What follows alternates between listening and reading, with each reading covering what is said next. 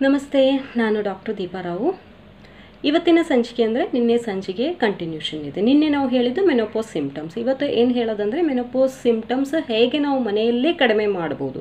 ಈಗ ನಿನ್ನೆ ಹೇಳಿರೋ ಯಾವುದಾದ್ರೂ ಸಿಂಪ್ಟಮ್ಸ್ ಯಾರಿಗಾದ್ರೂ ಜಾಸ್ತಿ ಇದ್ದರೆ ಜಾಸ್ತಿ ಅಂದರೆ ಫಾರ್ ಎಕ್ಸಾಂಪಲ್ ನೀವು ಅಡುಗೆ ಮನೆಯಲ್ಲಿ ಕೆಲಸ ಮಾಡ್ತಿರುವಾಗ ಅರ್ಧ ಗಂಟೆ ಕೆಲಸ ಮಾಡಿದ ತಕ್ಷಣ ನಿಮಗೆ ಒಂದು ಚೇರ್ ಇಟ್ಕೊಂಡು ಕೂತ್ಕೋಬೇಕು ಅಂತ ಅನ್ನಿಸ್ತಾ ಇದೆ.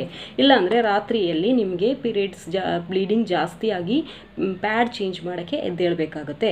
ತುಂಬ ಕೂದಲು ಉದುರ್ತಾ ಇದೆ. ತುಂಬ ವೀಕ್ನೆಸ್ ಇದೆ. ಇದೆಲ್ಲ ನಾರ್ಮಲ್ ಅಂತ ಹೇಳಿ ಮನೇಲಿ ದಯವಿಟ್ಟು ಕೂತ್ಕೋಬೇಡಿ. ನಿಮಗೆ ಹತ್ರ ಇರೋ ಡಾಕ್ಟ್ರ್ ಹತ್ರ ಹೋಗಿ ತೋರಿಸಿ ಸಪೋರ್ಟಿವ್ ಮೆಡಿಸಿನ್ಸ್ ತೊಗೋಬೇಕು. ನೋಡಿ ಆಯುರ್ವೇದದಲ್ಲಿ ತುಂಬ ಸಪೋರ್ಟಿವ್ ಮೆಡಿಸಿನ್ಸ್ ಇದೆ. ನಮಗೆ ಈ ಸಿಂಪ್ಟಮ್ಸ್ ಕಡಿಮೆ ಮಾಡ್ಬೋದು ಅಷ್ಟು ಹೆಲ್ಪ್ಫುಲ್ ಆಗಿರೋ ಮೆಡಿಸಿನ್ಸ್ ಇದೆ. ಸೊ ಹತ್ರ ಇರೋ ಡಾಕ್ಟ್ರ್ ಹತ್ರ ನೀವು ಹೋಗಿ ಸಲಹೆ ತೊಗೋಬೋದು.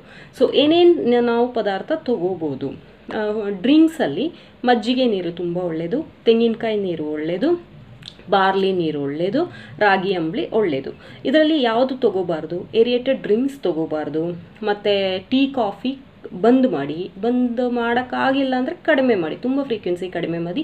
ಅದ್ರ ಜೊತೆಗೆ ವೈಟ್ ಶುಗರ್ ಕಡಿಮೆ ಮಾಡಿ ವೈಟ್ ರೈಸ್ ಕಡಿಮೆ ಮಾಡಿ ಓಕೆ ಇನ್ನು ಯಾವ್ಯಾವ ಪದಾರ್ಥ ತೊಗೋಬೇಕು? ಅದ್ರ ಜೊತೆಯಲ್ಲಿ ನೋಡಿ ನೀವು ಇದು ಆಯಿಲಿ ತುಂಬ ಆಯಿಲಿ ಡೀಪ್ ಫ್ರೈಡ್ ಮತ್ತು ಪಿಕ್ಕಲ್ಸ್ ಮತ್ತು ಅದೇ ಥರ ರೆಡ್ ಮೀಟು ಇದೆಲ್ಲ ಅವಾಯ್ಡ್ ಮಾಡಬೇಕು.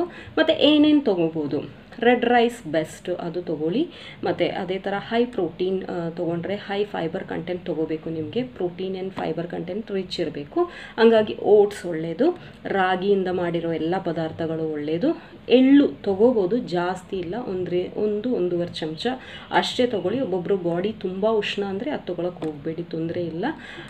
ಕಮ್ಮಿ ಮಾಡಿ ಅದನ್ನ ತೊಗೊಳ್ಳಿ ಅಷ್ಟೇ.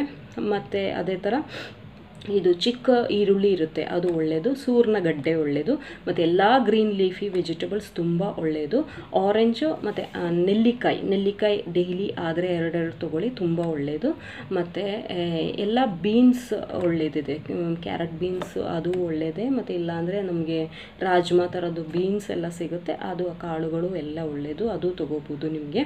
ಮತ್ತು ಇದರಲ್ಲಿ ಸಲಾಡ್ಸ್, ಫ್ರೂಟ್ಸು ಡೈಲಿ ಇಂಟೇಕ್ ಅದು ಇರಬೇಕು. ಮತ್ತು ಬ್ರೋಕೋಳಿ ಅದೇ ಥರ ಕಿವಿ, ಅದೆಲ್ಲ ಡೈಲಿ ನೀವು ಪದಾರ್ಥದಲ್ಲಿ ಇಟ್ಕೋಬೇಕು. ಡೈಲಿ ನಿಮ್ಮ ಊಟದಲ್ಲಿ ಬರಬೇಕು ಓಕೆ ಮಜ್ಜಿಗೆ ಮಜ್ಜಿಗೆ ನೀರು ಡೈಲಿ ತಗೊಳ್ಳಿ ಓಕೆ ಥ್ಯಾಂಕ್ ಯು